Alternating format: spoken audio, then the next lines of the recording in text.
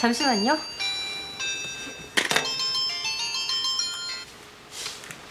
여보세요? 산부인과에서 차영아 씨 봤어. 임신했나 보던데. 네, 지금 바로 갈게요. 감기약이에요. 설마 그것도 홈페이지에 올리실 건 아니죠?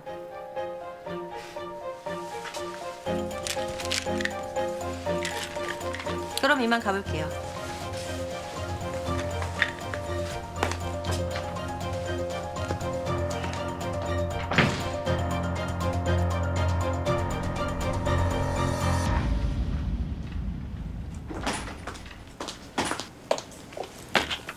저 잠깐 화장실 좀 다녀올게요. 네.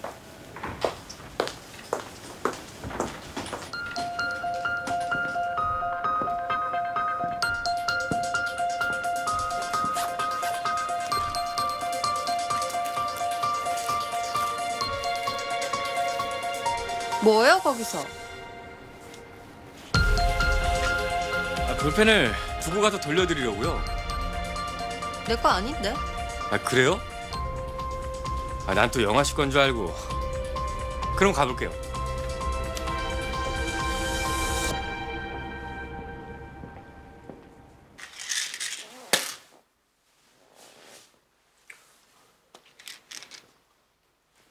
이게 뭡니까?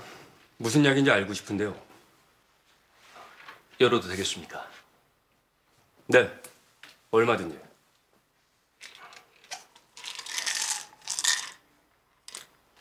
이거 작은 사부님이 드시는 겁니까?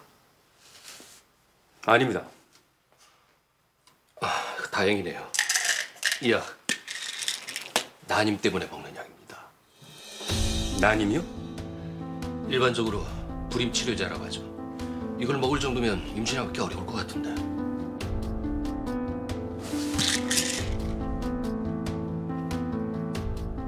이 일은 저랑 부원장님만 아는 걸로 하죠.